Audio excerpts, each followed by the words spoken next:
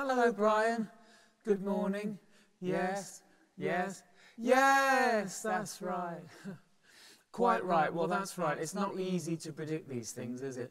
But let's see how the week pans out. Hopefully, we'll have some, some better news. And in the meantime, we'll.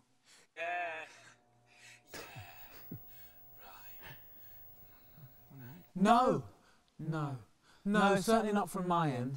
Not. N- no, not as far as I know, no. Right, okay, I will, of course. I'll look at it today, see if I can get my head around it. How's your week looking? Are you Wednesday? No, this week. Oh, God, yeah. So, let's push this one through and all that.